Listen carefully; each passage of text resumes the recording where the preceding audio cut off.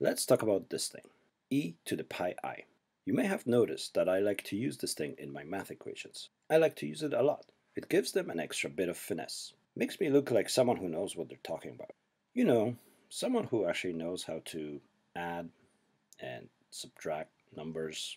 So if you're not familiar with it, e represents a special math constant, the irrational number 2.7182 and so on. One of those infinite numbers. Take this number to the power of pi. Pi, of course, is the ratio of the diameter to the circumference of a circle.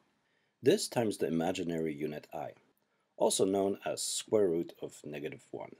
And the whole thing somehow equals to negative 1. These seem like a bunch of weird arbitrary numbers put together. Let's just consider e to the power of pi. That ends up as this other irrational number, uh, 23.14069 and so on. Yet somehow this multiplied by itself, an imaginary number of times, becomes negative 1. Why is this? Maybe because Euler just frickin' says so. That's it. It's dark magic.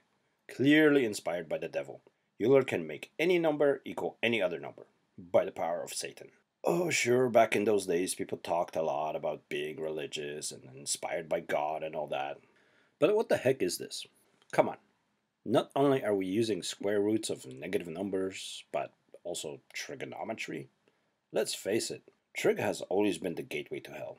And Euler's identity is clearly a hyperdimensional demon thing from the depths of the abyss. How does any of this actually make any sense?